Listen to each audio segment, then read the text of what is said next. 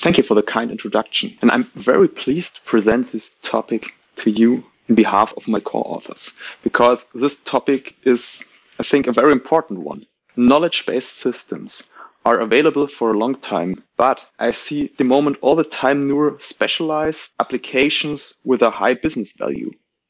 And I ask myself, why is a strategic tool like a knowledge-based configurator not like a mass product? Why is this brilliant, intelligent idea not spread more far? I think one problem is knowledge acquisition, because the hardest challenge within is knowledge acquisition.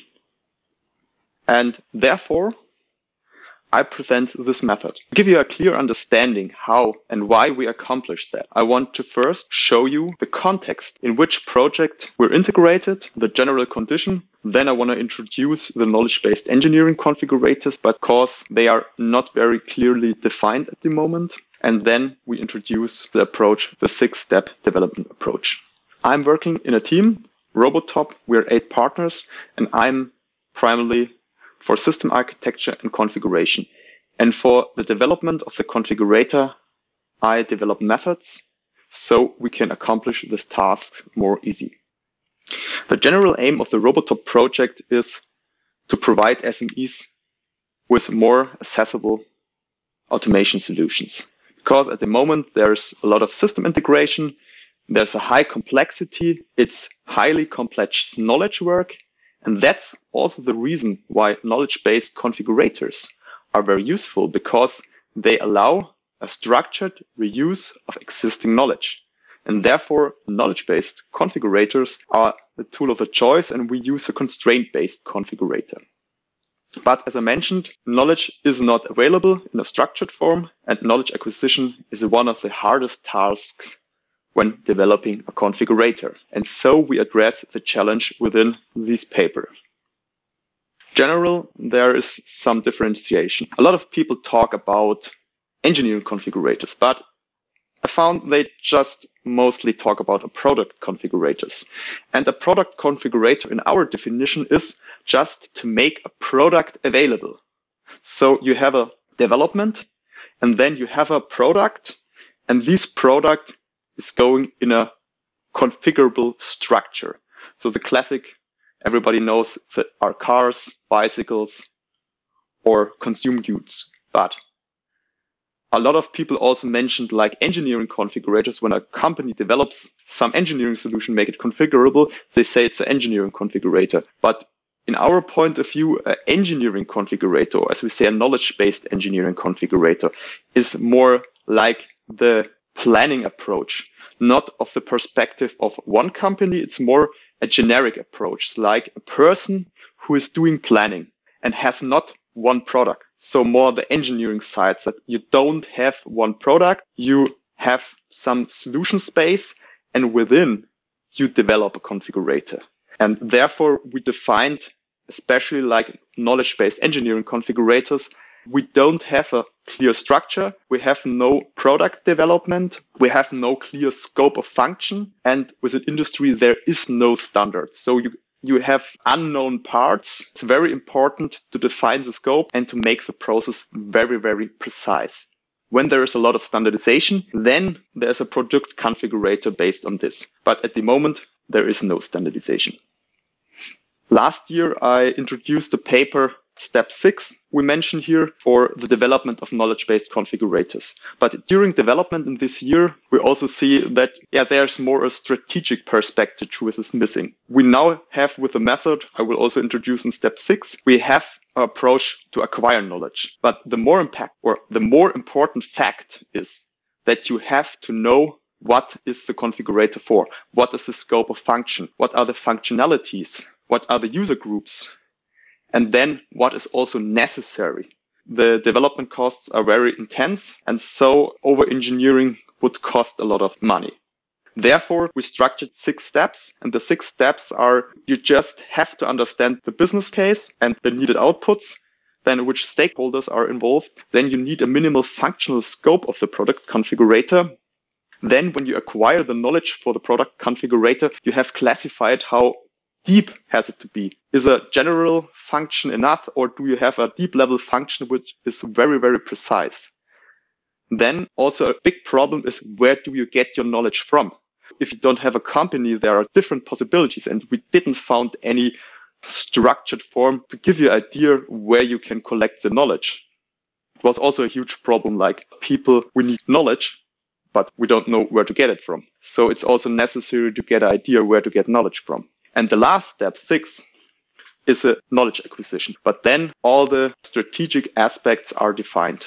So starting with step one, the strategic perspective, as I mentioned before from Robotop are SMEs. So there is less automation. So there's a huge potential, a huge economical potential, but also some challenges. Because they are not informed, it's very hard to ramp up the project. So therefore, it's necessary to make it easy, to make it standardized, and to use business cases which are very often. The margin is not so high. You have more customers. So therefore, we analyzed the market, and so we focused on handling and assembling because there are good use cases, especially machine loading and a modular assembly cell for the real business case. The next step is when you are within, you have also to understand the processes and the output documents. So we analyzed, we did this based on the literature and also um, through expert interviews to get an idea what functionality the configurator should have. And we just stay on the first phases, so proposal and primary planning, not more. And within the scope, we now have to define a precise functionality. Therefore, we developed a click prototype to condense the ideas. So at first it's like a pre-selection of the best practice modules because we have a lot of best practices and you have to filter them.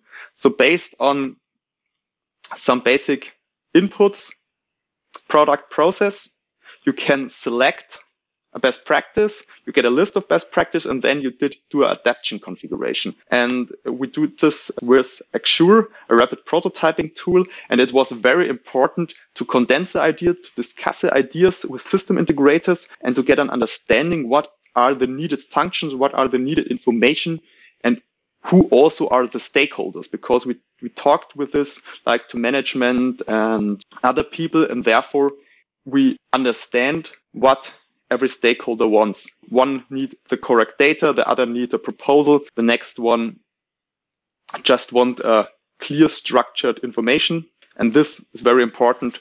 We found out with a click prototype. The next step, if you know what is the scope of function, then you can start with knowledge acquisition.